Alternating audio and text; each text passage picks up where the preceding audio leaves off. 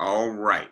So it was um, the, the, the case that I selected these images before yesterday's news that the uh, Republicans in the Senate, uh, the majority of them had used the first filibuster of the year to block an inquiry into the January 6th assault on the Capitol. And of course, the images on the right are images from that uh, assault. The image on the left is the Reichstag fire in, in Germany in the early 1930s. And, and I'm, I, I do mean to suggest analogies. I don't mean to suggest that the two uh, events are equivalent. Obviously, Congress continues to function. A different leader was elected. Ultimately, the outcome of the 2020 presidential election was certified and there was a relatively peaceful change of power. So, so, so things are different, but I do mean to suggest that there are important parallels and, and, and, and that there is a, as uh, we will examine together today and in subsequent lectures, uh, a growing impatience with democracy in the United States, an increase demand for authority, and that at least in pockets of the population, that demand is being expressed as a wish for a more violent approach, either to or from the government or both, and that we saw this come into um, uh, the, the, the clear spotlight of public attention on January 6th, but this is something that is not isolated on that day. And in fact, the forces that want greater authority and that are perhaps willing to use violence in pursuit of it are increasingly at home in the Republican Party. And that the Republican Party yesterday decided that it could not stand the public scrutiny, that, that it would quash the idea of a sustained, independent, bipartisan inquiry that examined fully all elements of the events leading up to the assault on the Capitol on January 6th. And, and, and, and so today is a particularly good day then to start thinking about conservative parties in particular. And um, you will see that as, as, as we progress through these lectures, I'm going to actually look uh, historically at the Republican Party. And the Republican Party, of course, is not a consistently or originally conservative party. This is the party of Lincoln and of Teddy Roosevelt and of Dwight Eisenhower, leaders who I think it would be difficult to characterize as conservatives, certainly not Lincoln and Teddy Roosevelt, right? And, and, and so the Republican Party is not a consistently conservative party. And to really get a, a, a good perspective on parties that have been from the beginning to the end conservative and their extreme importance importance in the maintenance of democracy in the modern era. Uh, and, and, and, and I'll, I'll just say to you something we, we've talked a little bit about before and we'll be talking about in greater length today. Conservative parties are typically the parties where those who might challenge democracy find themselves at home. At least if it's a two or even a multi party system, they tend to gravitate to the conservative parties. There, there's a natural skepticism on the part of conservatives uh, with regards to democracy, especially at the outset of modern democracy, when more people who had been held powerless uh, for uh, centuries gained the franchise, gained political power, gained social standing as the result of democratization. Those forces that op- op- opposed uh, the extension of the franchise, originally universal male franchise in, in, in Europe, uh, lifting of property qualifications, lifting of race qualifications in this country, eventually lifting of gender qualifications, that, that those forces tended to organize in conservative parties. The forces opposing all of that are reluctant to accept all of that. And conservative parties therefore have been extremely important in determining the stability, the acceptability, the longevity of democracy in the modern world. Now, in, in saying all of this, I'm going to pivot from the Republican Party to contemporary scholarship. And, and I'm going to uh, focus on a man who we have talked together about in the past, his name is Daniel Ziblatt.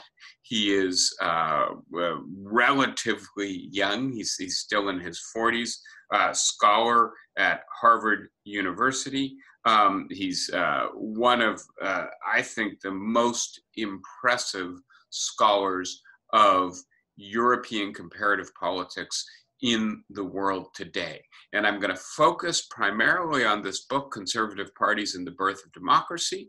Uh, I'm going to point out to you that if the name Daniel Ziblatt is familiar, it is most likely because we've talked together before about How Democracies Die, which is a book that he co authored with Steven Levitsky uh, about three years ago.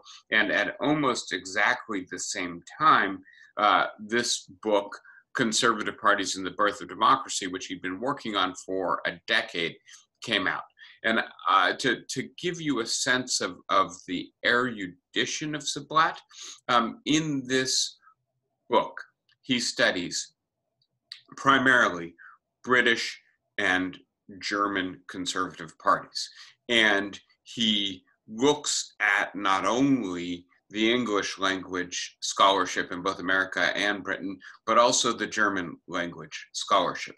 But he also brings in case studies on Sweden and Portugal and Spain and Italy. And in each of those cases, he's also doing research in the original languages, extensively familiarizing himself with both historical archives and contemporary scholarship. Um, and so, to, to, to, give you a sense for those of you who uh, are familiar with earlier political sociology and comparative politics, Barrington Moore Jr., who uh, wrote the famous text, The Social Bases of Dictatorship and Democracy, Ziblatt is being compared with Barrington Moore or, or, regarded critically as the Barrington Moore of his age. And in particular, if um, the book that he co authored with Levitsky is about backsliding, that is to say, cases in which already established democracies begin to erode support for democracy. And if you remember briefly, the argument of how democracies die is that constitutional and legal mechanisms are insufficient to protect democracy, that we need informal norms, and that one of the major propagators of informal norms are political parties. Political parties screen out leaders who don't uh, adhere to the norms of, for instance, the loyal opposition. You lose an election, and rather than trying to contest the results of that election, if you're convinced that it's fair, rather than spreading lies or misinformation about that election, rather than trying to overthrow the government, you actually use the loss as an opportunity to consider what is it in, in your message that didn't work? What is it about the coalition that you've relied upon that is shifted and no longer a sufficient basis for electoral success? That you put fidelity to democracy alongside the desire to hold power and you play by the rules, and the political parties choose leaders that are adherents of that core democratic commitment. They socialize their members into the idea that as much as we'd like to win every time we can't, and and so the focus of how democracies die is in particular on political parties that stop adhering to the democratic dogma of loyal opposition and start prioritizing winning over playing by the rules of the game. The focus of the other book by Ziblatt is much more on democratic consolidation. When a young democracy comes into the world, how is it that over time it convinces those who are skeptical or reluctant or think that they're going to lose um, to nevertheless adhere to democracy? And again, Ziblatt emphasizes political parties. To set this up, I'm going to share a quote with you from Lord Salisbury from the late 19th century in Britain. And Salisbury defined democracy in this way a system of government in which the poor make all the laws and the rich pay all the taxes. Now, if you're Lord Salisbury, if you're one of the wealthiest men in Britain, that does not sound like a form of government that you should accept, right? And, and, and part of Ziblatt's argument is that there are a lot of Lord Salisburys out there, a lot of people who view the transition to democracy as inherently hostile to their interests how did those people become convinced to accept democracy? Ziblatt suggests it's a particular kind of conservative party, and that in a sense, we can learn about why it is, when it is, how it is that conservative parties serve as pillars of support for democracy, and perhaps also when and how it is that they withdraw support from democracy by looking at Ziblatt's account. So to set this up, and and and this is an, another week in which we're going to be more historical, more theoretical. I promise you, the payoff will be there. We will return to 21st century American politics, and I believe we will be that much more equipped to understand what's happening in 2021 for having taken the theoretical and historical detours that I am leading you through in the weeks leading up to this. So, so that's my, my promissory note as I take you back to the middle of the 19th century and to the traditional answer to the question of the issue of, of, of, of major social segments accepting the transition to democracy in Europe in the middle of the 19th century to the middle of the 20th century. And I would point out to you that there are traditional answers to this question, answers that Daniel Ziblatt does not dispute, but nevertheless thinks are necessary but not sufficient conditions. One way to think about this is that there is just increased wealth. And, and so Lord Salisbury's perspective that the rich will pay all the taxes while the poor make all the laws is based in a less productive economy in which it's a zero sum competition. And as a result, if the poor or the middle is going to do better, the rich will necessarily suffer. But by the time we get to the middle of the 19th century and the Industrial Revolution, it is no longer a zero sum competitive economy. And therefore, the rich who might think they're going to lose from democracy manage to reconcile themselves to democracy because the economy enables greater power for the less well off without fundamentally violating the interests of the rich. And, and so that's one scenario in which, right, all major social segments are able to accept the transition to democracy. Uh, a second scenario has to do with declining inequality.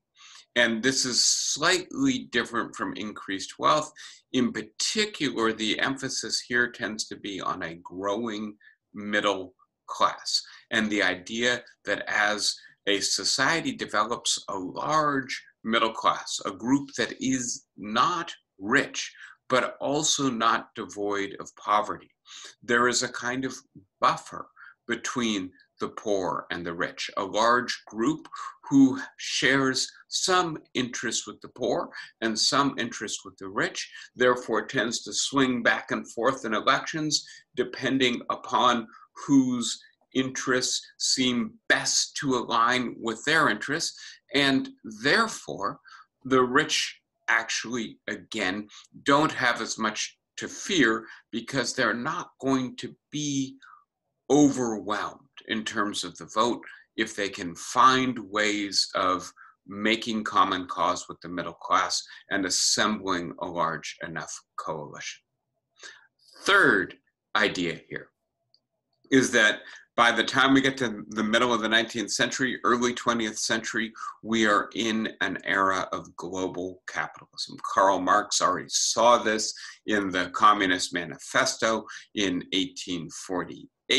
Uh, and, and, and it's worthwhile noting that the global economy was as integrated before World War I as it was 10 years ago, right? That is to say, there was as much trade, as much mobility of capital and assets, and as much integration of production uh, a hundred plus years ago as there was 10 years ago, right? And, and, and so, one of the things that an era in which capital and assets are mobile does is say to the rich, say to those who are currently elite, guess what? if you don't like the way things are going in your country, if you're worried about taxes and redistribution or land uh, reform, you can take your assets and put them in a Swiss bank, and then the government and the unwashed masses will not be able to get their hands on it. So that's a, a third uh, account of how it is that the incumbent elites of the old regime managed to reconcile themselves to democracy. Fourth answer, and again, these, these are all compatible with each other, not mutually exclusive. And Ziblatt thinks they're all important in doing work, they're just not sufficient. The fourth answer is look, in many societies, even though the masses got the vote, there were other institutions in place. And in Britain, the examples here include the House of Lords, which was non-electoral throughout much most of the 20th century, right, uh, and could veto things that came out of the House of Commons, and of course the monarchy as well, which which uh, had uh, effective veto power early uh, in the democratic transition period. And, and so although uh, the majority is being expanded, those who get the vote are increasingly people who do not share interests with the wealthy and the old elite. They are checked by the constitution of society. Now, here's what Daniel Ziblatt has to say about an argument like the argument I've been giving you from someone like uh, Barrington Moore Jr. And he says, well, the, the, there's a difficulty with this. And, and the difficulty is that there's not one pattern of um, democratization and democratic consolidation in Europe. There is, broadly speaking, two patterns, or to put it differently, a continuum uh, with uh, extreme cases on the ends and a uh, territory in the middle of more confused or um, mixed cases. So the one case would be the settled democratic transition, and that's represented in this diagram by the United Kingdom from 1848 to, to 1950. And as you can see, um, there are increases in the degree to which uh, Ziblatt, using a quantitative method, considers Britain to be democratic. The, the, so uh, you, have got the reform bill of the early or mid 1870s that increases uh, the uh, suffrage. You've got female suffrage later. You've got the, the decline of the monarchical veto uh, and eventually the decline of the House of Lords' ability to check the House of Commons. Um, and, and all of these together are advances in democracy. And if you were to draw a straight line between the starting point and the end point, what you see is that the, the British case is one of fairly direct, even progress. There really aren't any setbacks and the developments occur at irregular inter- intervals. And, and so this is uh, one pattern, the settled, settled pattern of democratization. And then at the other end of the extreme is Italy, or at least that's the paradigm case that Ziblatt is presenting here, in which there aren't any real democratic reforms throughout the second half of the 19th century, then there are democratic reforms, then there's a descent into fascism, and then there's rapid redemocratization in the middle of the 20th century. And so rather than taking the, the uh, shortest uh, course, the straight line between the starting point and the end point, Italy goes up and down and up, right? And, and, and so the problem here is that if we're focusing on increased economic growth and more to go around, or on a growing middle class, or on the mobility of capital, or on counter majoritarian institutions, these don't separate the Italian case and the British case, right? The, the standard variables do not tell us why things went so smoothly in Britain and so roughly in Italy. And by the way, when we look at the spectrum, what we see is on Ziblatt's account, you've got the United Kingdom, Sweden, Belgium, Netherlands, and Norway as your kind of uh, standard cases of settled democratization. Denmark kind of in the middle, Italy, Germany, Portugal, France, and Spain as unsettled cases, right? And, and, and much more volatile in terms of their democratization. So the standard explanations don't give us a good account of this kind of variability. Um, and in order to get at a better account, Ziblatt suggests we need to pay attention to the obstacles to democratization. When we look at that diagram from Italy, what is it that's causing things to go backwards as opposed to forwards? What is it that's causing a lapse in the democratization process? Obviously, in Italy, we're talking about Mussolini and fascism. Uh, why is it that as opposed to consolidating democracy, Italy eventually replaced democracy with a fascist leader. And here, uh, Ziblatt asks us to focus on uh, the problem of incumbent old world elites, right? These are the people who are the nobility, the landed aristocracy, the very wealthy bourgeoisie the members of politically connected families who are powerful in the pre democratic regimes, powerful socially, powerful politically, and who typically have the capacity to resist democratic transitions if they want to. And, and when I say the power, they have the social power, they have the wealth, they have the connections, and oftentimes they have the political power. They've got the education, they've got the networks, they can organize, they can promote or sponsor proxy battles against democracy if they are so inclined. And, and so this is the group that Ziblatt asks us to focus on. We've talked about all major groups wanting to support democracy or finding their interests sufficiently uh, incorporated into democratic politics, that they do not see themselves as under attack. And Ziblatt says this group often um, becomes either the most recalcitrant opponent of mass democracy and spends years, perhaps decades, trying to sow the seeds to undermine democracy, or reluctant but essential Democrats. And, and, and part of what Ziblatt focuses on is when it is that the old world elites have what he calls sunken costs in democracy. When is it that they're sufficiently invested, either literally, economically, or politically, they've, they've, they've spent a lot of resources building up their party so that they believe that they need to continue to compete within the democratic system, or you might also say culturally and ethically. When is it that they actually begin to identify with democratic institutions and take pride in the fact that this is the way their society settles its political conflicts?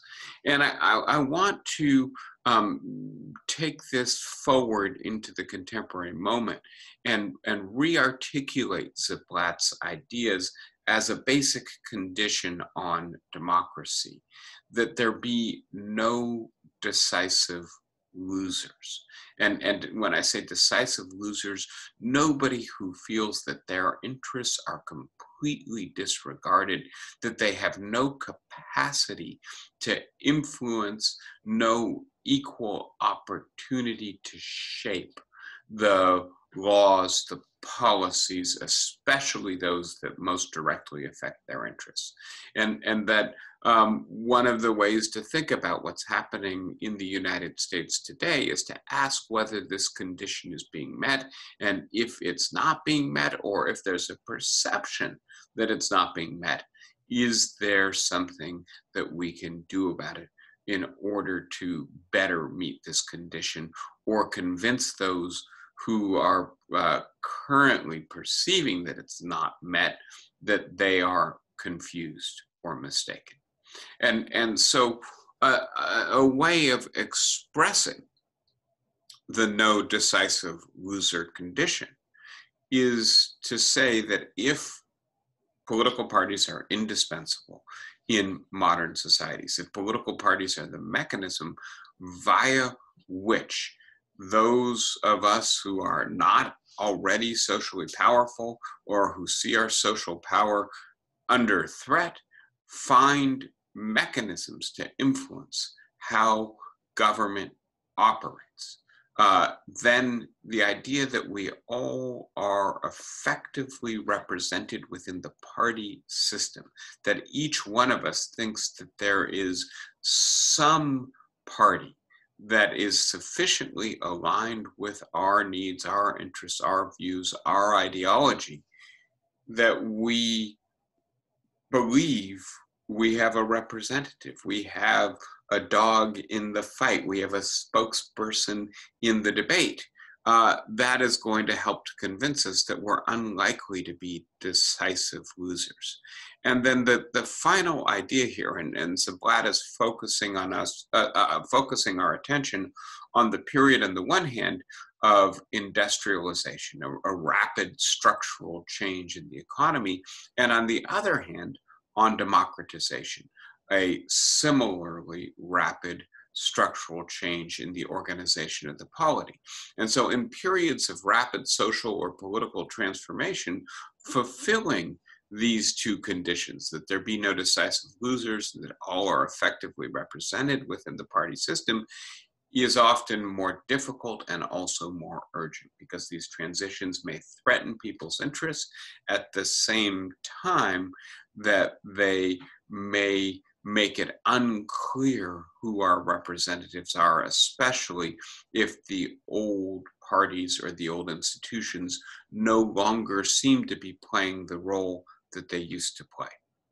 All right, so now, and I, I know there's a, a, a, lot on the screen. Let me try to, to work through this with you. Uh, what Ziblatt suggests is that old world elites were integrated into European democracy in those societies in which European democracy successfully consolidated, in which there was a settled transition to democracy, the old world elites were integrated via conservative parties that met certain conditions. And so the general point here, this is just a, a, another way of putting ideas that we've come across already, is that parties are the political carriers of organized interests in modern democracy. They are a key variable then that shapes the process of democratization, and we need to pay attention to, in particular, the way in which they carry what Ziblatt calls ruling class interests, those who are most powerful, how are they incorporated into political parties? And he puts it as uh, following terms uh, well organized and highly institutionalized partisan defenders of old regime interests provided a way of lowering the costs of toleration and making the democracy safe for key segments of old regime elites. So the, the key idea here is well organized and highly institutionalized parties. What are such parties? How do they emerge? How do they reconcile incumbent elites to democracy?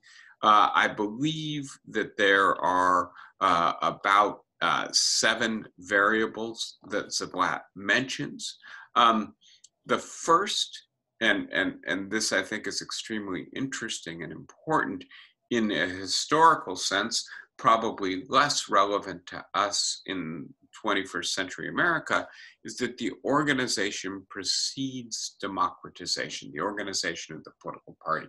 Uh, and, and so part of the, the claim here is that it's important that a conservative party already have institution, institutional viability before the transition to democratization is complete or full, before universal male suffrage uh, is uh, institutionalized. And, and the issue here is that if the organization precedes full democratization, then the party itself can be established and strong. But if it doesn't, then it may be overwhelmed or incapable of adapting uh, to the new social circumstances by the time uh, the, the competition is going for electoral votes.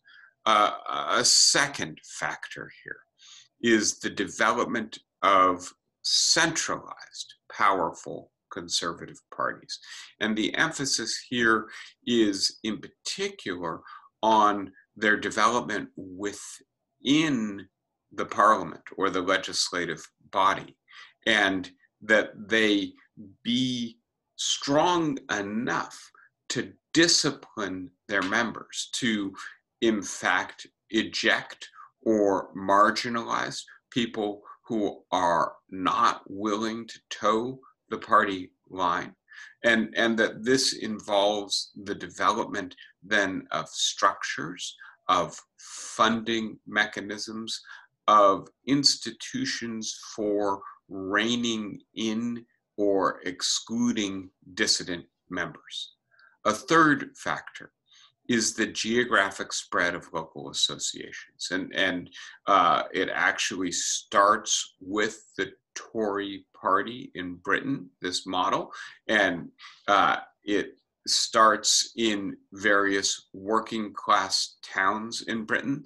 The idea that the Tories start organizing local clubs, local chapters, and that the um, local chapters do two things. They first they they begin to recruit new people to the Conservative Party. They begin to recruit the newly emerging middle class, but they also serve as the antennae for the party, a way of gathering information. And it's extremely important on Ziblatt's account that the Conservative Party have some sense of what's happening at the local level, that they be able to assure themselves that the coming election is not going to be a conservative bloodbath, that, that we're actually in this, we've got a chance of winning it, and of learning what issues matter matter to their potential allies in the middle class so that they can begin to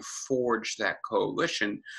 That requires that they have a local you might say civil society presence that they not just be parliamentary cliques but also civil society institutions and and remember this is before universal male suffrage sets in, and it's positioning the political, conservative political parties to make that transition in a successful way. Fourth, and, and I think one of the critical variables here is the professionalization of party operatives. The party becomes strong and successful enough that it's able to hire organizers and lawyers. It's able to begin to do the work of uh, hiring ideologues who, who write in the popular presses. And the, the party operatives, the bureaucrats, the professionals um, are an important force for political pragmatism. They moderate the elected leaders by explaining to them look if you go over into moral panic right if, if, if, if you start saying if we democratize the sky is falling if you say out loud what lord salisbury said if you suggest that the unwashed masses are necessarily uncivilized and a threat to everything british or everything valuable about your level of civilization and culture, you're going to lose the next election and the election after that.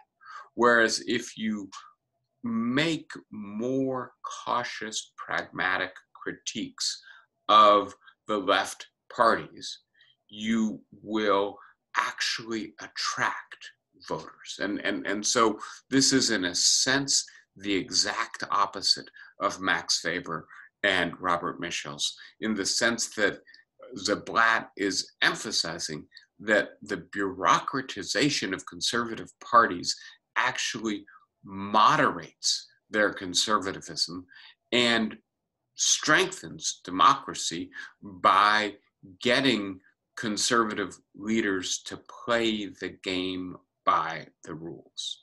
Uh, fifth factor the identification of strategies to win popular support, support for politics that favor conservative interests. And, and I want to be as clear as possible here, and this will be familiar to uh, those of you who, for instance, have read uh, Thomas Frank's What's the Matter with Kansas? The idea that the conservative parties of the 19th century and early 20th century emphasized patriotism, emphasized empire, emphasized citizenship, military exploits, uh, issues that took some of the working class and some of the middle class away from a focus on inequality and redistribution and into a focus on maintaining maintaining institutions like the empire, like the military, like the House of Lords that might be adverse to their economic interests, but allowed them to organize their political identity in a different way. And, and, and again, Ziblatt, I think, is very insightful in suggesting that this is not something the Republican Party invented with uh, issues to do with abortion, etc. This has been going on for 150, 170 years. The effort to use a different frame for thinking about political identity and political interest in order to get those who might be potentially strongly opposed to conservative interests, in fact, to support conservative parties for reasons other than their taxation policy or their approach to redistribution of land holdings or resources. Um, and the, the final claim here is that political knowledge reduces uncertainty and fear, right? That, that if you've got a strong party with a professionalized core who have built local institutions and identified good strategies, then you can say to your leaders or to those who are your potential supporters but frightened of the possible outcome of the next election or the democratic transition or the reform package look we have a strategy we need to adhere to that strategy. If we do, we've got a good chance of actually coming out ahead or at least being able to preserve our core interests despite the growing power of the working and the middle class. And so, in all of these ways, right, conservative parties served to integrate old world elites into the new world institution of parties, right? And these are elites who had relied on what Ziblatt refers to as the moral economy of notability, just being powerful, and especially on patronage, on the idea that if you want a job, if you need a little bit of support when there's a drought or a crop failure, I will help you, but then you've also got to have my back when I need you, right? That's that that's the old moral economy economy of notability. That's how they'd secured their political influence. This creation of these new political parties allowed this old world elite to see that they could still have their influence, that it could be translated across the threshold of the democratic transition so that they would remain, perhaps not equally influential, but sufficiently influential that the transition to democracy and industrialism would not be a disaster to them. Now, I'll just ask you to, to, to think about this for a moment we have had similar transitions in the United States in the last 50 years. As opposed to transitioning to an industrial economy, we have transitioned to a post industrial economy. As opposed to working class enfranchisement, we have seen the Jim Crow system in the South overturned by legal cases and civil rights law and increased immigration that has substantially altered the composition of the electorate? Have we allowed those who had some influence over politics in the old regime, and, and here obviously I'm referring to an already seemingly democratic regime, to see how their influence could be preserved as we become a more diverse post industrial economy. I'll get into that more, but I, I just want to make clear that there are important lessons to be drawn from Ziblatt's account of 18th, 19th, 20th century democratic transitions for our 21st century transition. Finally, Ziblatt spends quite a while on the alternative and when I say alternative, those societies, and, and if we go back here for a moment, we're talking about Spain, uh, especially in a kind of an exemplary case, but also France uh, or Portugal or Germany or Italy, those societies in which strong, well organized, professionalized, influential conservative parties did not emerge. How did conservatives pursue those interests in those societies. And his suggestion is that they turn to what he calls anti competitive strategies. Trying to win the next election is a competitive strategy. An anti competitive strategy is based on the idea or fear that there's no way you're going to win fair and square the next election. So you need to find some way around the next election.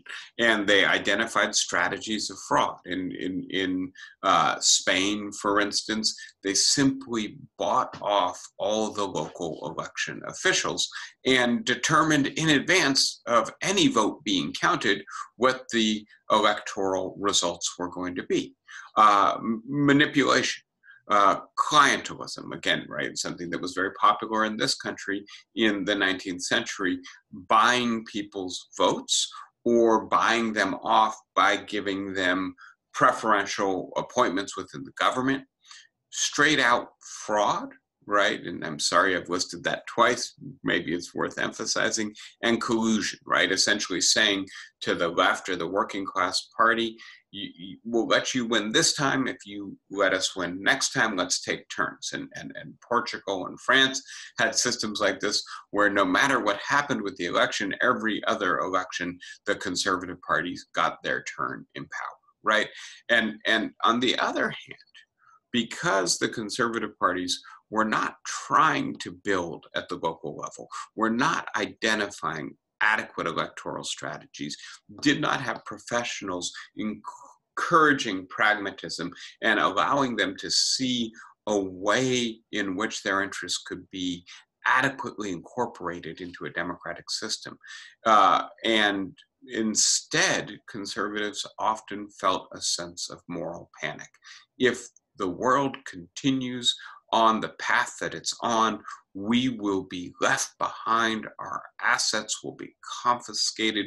We will lose our political influence. Heck, we may be headed to the guillotine, right? And and and if in in these kinds of um, desperate moral panic moments, the right wing old elite made common cause with right wing insurgents, with fascists, with anti democratic forces, and the elites in particular, who often relied on these local insurgent movements or on forces within the military who wanted to grab power often also found themselves incapable of controlling the forces that they had unleashed, that their parties just weren't well organized, weren't strong enough. Whereas with the well organized Conservative Party, on the one hand, you never needed to encourage right wing, often student movements modeled on the brown shirts, on Mussolini or Hitler's uh, storm troops, right? And on the other hand, if at some point you were perhaps tempted to enlist uh, more radical elements, you also had the strength within your party to prevent them from taking over your party.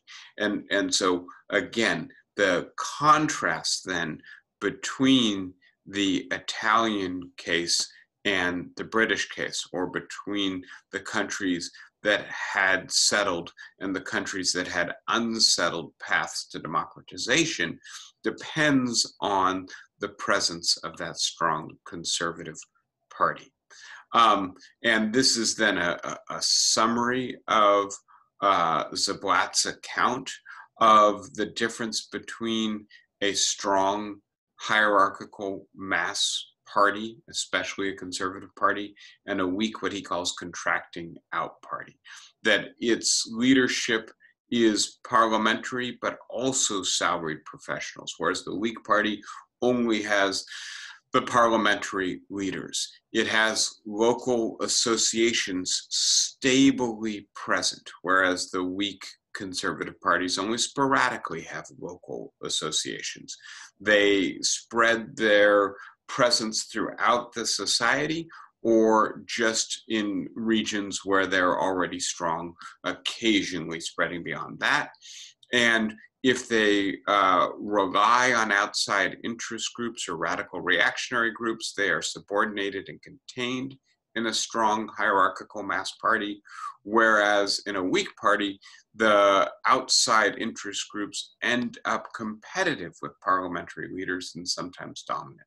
And again, when we think about the role of outside interest groups, I do think that when we tell the story of America in the 21st century, uh, one of the big important, I guess I'll say the first quarter of the 21st century at least, one of the really important chapters is going to be focused on the Tea Party and the way in which, uh, and, and I've, I've suggested in a previous lecture that this is not a grassroots movement, right? This is a so-called astroturf movement. This was funded, sponsored, organized by rich elites who no longer saw the Republican Party as sufficiently in their corner. And then lo and behold, you can draw a pretty straight line from the Tea Party to Donald Trump, from Donald Trump to January 6th, an erosion of support for democracy. All right, I will stop there and uh, I'm going to unmute everyone. Uh, and please try to keep the, the background noise down if you got any. And who wants to start us out with a? a I do. Go ahead, Flossie. What about the church? You have left out religion. You have left out the evangelicals. You have left out the Roman Catholic Church in Spain and in Italy. I, I see some modicum of hope is that the present group of lunatics does not seem to have a big church behind them. I may be wrong. Evangelicals. Yeah, um, and, and fantastic point, Flossie, and thank you for raising that. And of course, religion is another important element in this story. Ziblatt doesn't emphasize it in his overall theoretical framework, but as I tried to, to say, a substantial portion of the book is detailed case studies of Britain and Germany. And in particular, in the German case, not only the conservatism of German Catholics, but also the divide between German Catholics and Protestants, and then, of course, the anti Semitism, right? The mistrust of a large religious minority seen as the uh, carriers in many respects, the, the cutting guard or cutting edge or avant garde of modernization, all fed into the weak uh, institutionalization of conservative parties, as opposed to there being a single umbrella conservative party. You had, sorry, separate Catholic and Christian Protestant conservative parties in the German case. So, so yes, absolutely right. Now, does that give us optimism for the current American case? I'm not sure, to be honest with you, right? And and and the uh, way in which the contemporary conservative, uh, radical, right wing, racial element of the Republican Party tends to get a fair bit of support from evangelicals does give me cause for concern, especially when you have somebody as unsavory, you would think, religiously speaking, as Donald Trump from a moral religious perspective, right? Yeah. And you nevertheless have a kind of transactional approach in which you are willing to overlook the infidelity, etc., because he promises the right kind of judges. Right. That that that that is concerning to me in the American case as well. Thank you, Flossie. Good point. John, go ahead. It seems to me, I, I think that's a brilliant, I haven't read it, but the analysis seems absolutely on, on target for me in looking at Europe.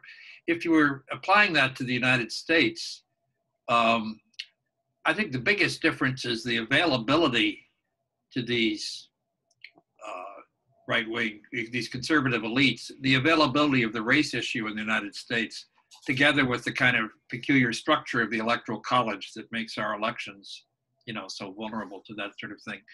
That uh, that, that that's it fits in with the argument perfectly well, but it's it's it's more true in the United States than in most European countries. The Jews in Germany are a little similar, but that's kind of a different uh, phenomenon. and and I'm going to um, next lecture talk about the Republican Party, and I'm going to draw on Heather Cox Richardson, who some of you may already be familiar with, but a, a very interesting contemporary historian, uh, and and she uh, has a history of the Republican Party called "To Make Men Free," which looks at the oscillation of the Republican Party uh, being uh, successively a very progressive party and then a very conservative party several times throughout its existence. And I'm just going to add to what John just said another factor, which is the availability of land in the West in the United States. Right, and and and the idea that there is an a, an engine, a, an outlet, uh, escape valve for pent up aspirations for at least many working class or poor white Americans, right? That, that they can um, not have to, and, and this is similar to Barrington Moore Jr.'s idea that when there's rapid economic growth, there's a possibility for non-competitive politics, or at least for, for non-zero sum politics. The idea that in the United States, our poor can turn west and find an outlet there by the way, Cox Richardson thinks that the emergence of the cowboy myth is actually very destructive.